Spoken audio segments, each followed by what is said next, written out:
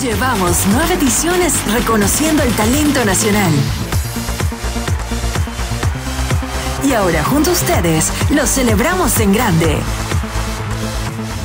Décima edición de los premios. Los premios Pepsi Music nacen de una necesidad que está pasando en el mercado donde no había eh, esa interacción entre el gremio, los artistas y la música. Y por supuesto desde la marca Pepsi también, donde siempre comunicamos a través de la música como un conector con nuestros consumidores unir esos dos espacios y crear toda esta super experiencia que ha habido alrededor de los premios Pepsi Music. Que ha sido un recorrido espectacular donde ha participado un montón de gente increíble, expertos en las distintas áreas. Ese recorrido junto a los fanáticos, junto a los artistas, ha dado yo creo que algo increíble que ha llegado a construirse en estas 10 ediciones y el balance siempre es positivo, pues crece la industria, crece el apoyo al talento musical y crece esa unión entre el consumidor, el fanático de la música y Pepsi. Creo que cada año esa, esa vinculación entre el público y los premios se ve fortalecida, los indicadores eh, de participación, de eh, números digitales que tenemos en las distintas plataformas de crecimiento, de participación,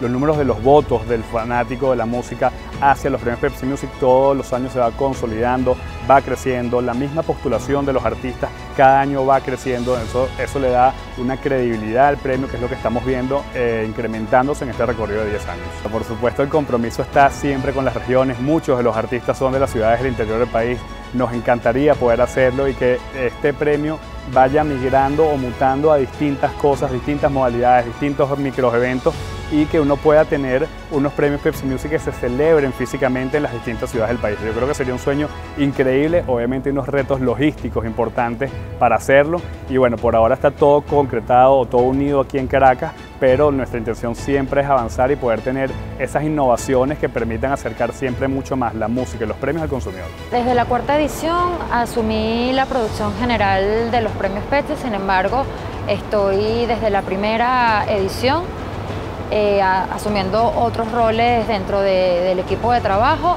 Eh, me llamó Ramón Castro a, formar parte del equipo en esa primera edición. es una mezcla también a la vez de sentimientos, de, una gran alegría, un gran compromiso y responsabilidad llegar a, a, realizar esta décima edición en el Teatro Teresa Carreño, en la Sala Ríos Reina. Es para nosotros también como de mucha alegría y también de una gran responsabilidad hacerlo allí. Todas las ediciones siempre son retadoras y uno pensaría que dice esta sí es retadora o esta sí es complicada, pero la verdad es que cada edición, eh, incluso contexto, contexto país, puede tener sus particularidades. Afortunadamente hay un equipo de trabajo comprometido y que respalda eh, el hacer estos premios. Una experiencia eh, de entretenimiento en el sentido más amplio de la palabra y para mí en lo personal es una posibilidad de, mostrar,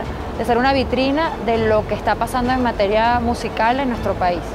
Bueno, yo tengo una trayectoria en la música y en la, industria de la música y la radio eh, y recibí una invitación empezando los premios de la mano de Oscar Feliber y Ramón Castro, eh, lo cual me pareció una invitación increíble porque evidentemente amo la música y amo la música hecha en mi país este, y he compartido muy cerca con grandes generaciones de artistas. Este año se recibieron 2.800 postulaciones. Una cantidad enorme, en porcentualmente una cantidad enorme.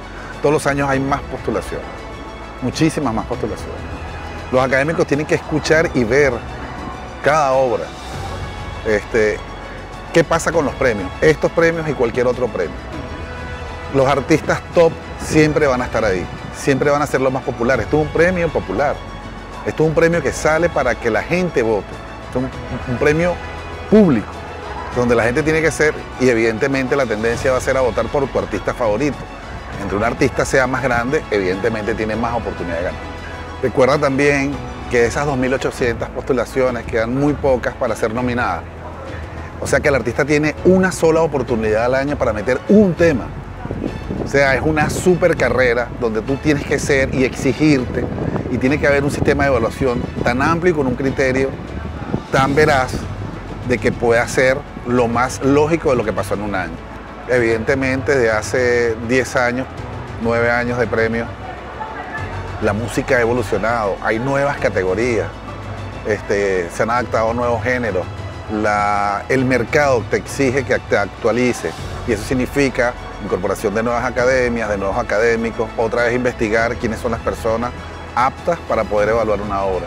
Los premios y los premios son del agrado de todos. No, ni esto, ni el Oscar, ni el Grammy. Siempre va a haber alguien que no está de acuerdo, lo cual respetamos mucho. Van a haber críticas, las cuales las tomamos con todo el cariño del mundo. Van a haber detractores de los premios, lo cual las aceptamos porque es imposible poder satisfacer a todo el mundo. ¿Por qué? Porque estos premios salen al público el público al final es el que decide.